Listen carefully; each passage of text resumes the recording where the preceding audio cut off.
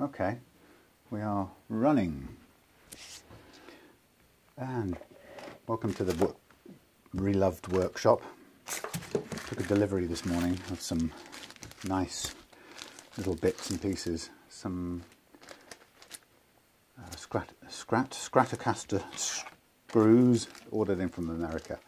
Um, nice little bits and bobs. Replace missing parts. Um, not expensive, well, not a lot.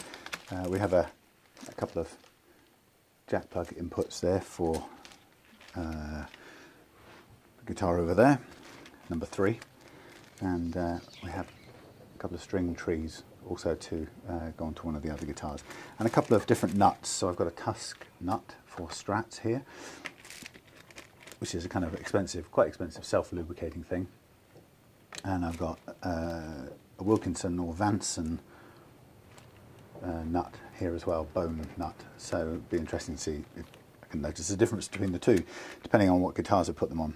And I also got myself some feeler gauges in Imperial and uh, metric, so I can be a bit more accurate or be make make judging the height of um, strings, actions, and also the uh, the depth of nut slots a bit easier. And to work on the nut slots, I have a very special little package in from the US this morning or last night, and I'll try and hold it up. It's a, a set of, I think these are welding rod nozzle cleaning. Uh,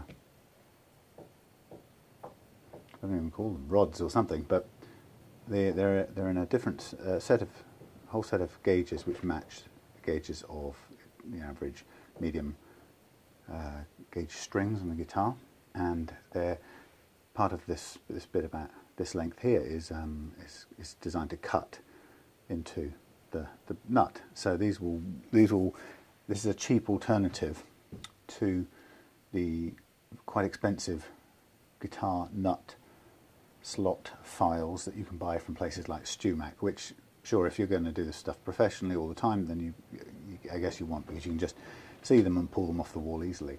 However, I'm trying out some alternatives. It's windy day today. Trying out some alternatives before we we you know get into a position to buy more expensive things. So these are quite interesting to see how they work. Um, and we've got to be careful not to lose them. So I'm wondering whether to string them together and hang them somewhere. But the reality is we want to able to use them uh, by holding one end somehow. Mm, on the thicker ones it's okay, you can use them by pressing down like that. The thinner ones are going to be more difficult and we're going to need something to hold them at the other end to get them to work. But it's much better than trying to do it with a piece of string at the centre. Uh, what would really work would be some sort of uh, thing. So I'm going to keep my eye out for that. But in the meantime, think I'm going to do myself the, the favour of finding a, a piece of wire or something to attach them to so I don't lose them. Uh, that would be a, a really uncool thing to do, having waited them from the United States. So the first first job is to catch them here. Pretty garden wire, and I'm going to put them somewhere safe out of the way. I'm putting them on in, in the order Just doing that visually. And there's them to but it's hard to get visually eyeball the correct sequence of strings.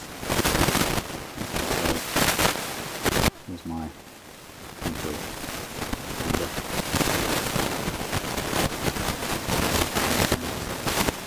Hang these up somewhere where I know I know where they are. I'm. In fact, I already know a guitar I want to use. Favourite blue. Um,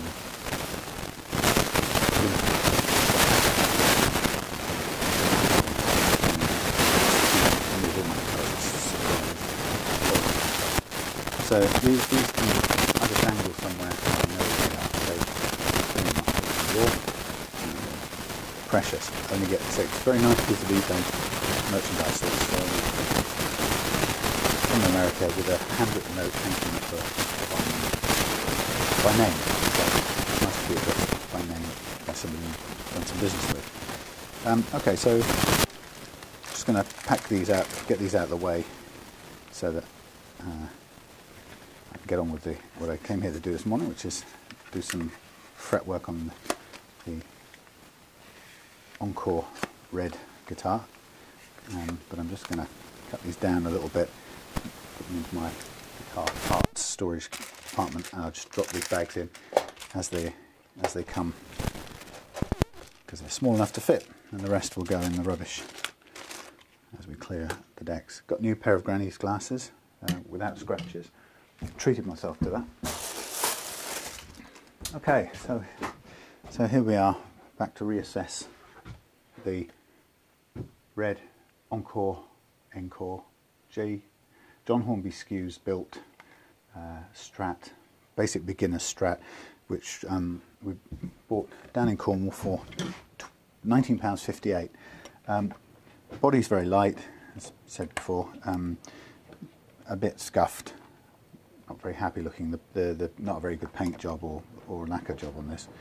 Um, and actually would be quite a nice candidate for doing it again. However, I haven't got a supply of stuff to do it with, so we'll just live with this and we might have a go at um, reshining some of the scuffed stuff that's been, I think somebody's put some stickers on.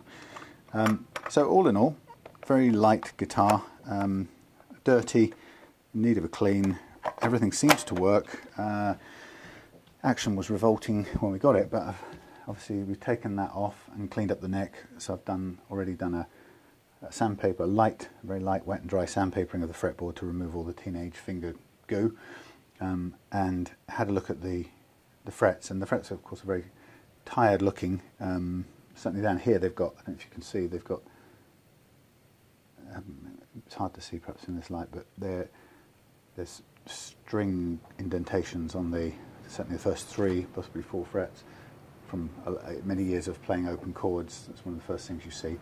Um, and there are some, one or two high frets up here. Uh, I had a feeling that the way to deal with this one would be to just go at it with the, the six inch fret file. Um, just makes the job quicker and takes everything down at an even sort of rate.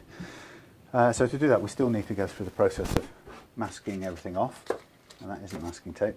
Uh, okay, question is, here's my masking tape. So we're going to mask everything off and while I'm doing that I also need a piece of wood to serve as my chopping board any old chopping board will do. Claire's going to join me in the uh, workshop shortly, so the door might go. So I will cut this video in a moment. I, will just get going. I'll, I'll, try and reduce the amount of kind of boring stuff you have to sit through. So having said this probably four times already now on the various different guitars that I've worked on on these videos, I will repeat myself because the whole point about this is that uh, this video is unique to this guitar.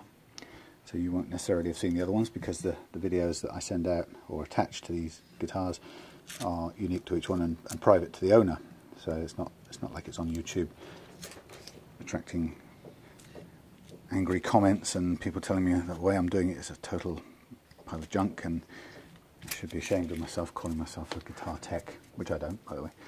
Uh, so a neat way of avoiding that is keeping these videos private and they're only for your uh, viewing if you want to. Um, if you've bought this guitar, you'll be enjoying playing it. You might also want to view the video. Um, so what I'm going to do is I'm going to do the usual thing of cutting uh, masking tape in a way that makes it possible for me to quickly do the frets and bearing in mind the frets get smaller as they go up it means that I have to cut the masking tape uh, in smaller progressively thinner chunks in order to uh, fit to the frets otherwise what will happen is your masking tape will be too big for the frets and it will um, it will go over the top of the fret which is not what you want you need it to be covering the fretboard nice and neatly but you don't want it clear very precisely uh, leaving the fret uncovered so you can do the work on it. So you can probably see it's easy enough to do. Even with standard masking tape, you, you can do it just by pulling chunks off and wrapping it round on the first the larger frets. But as you get smaller up here, even the smallest roll of masking tape is going to be too wide for that, so you have to cut. So I have it ready, prepared to take some of the misery out of it. And uh, I'm not going to bore you as I go through all of this.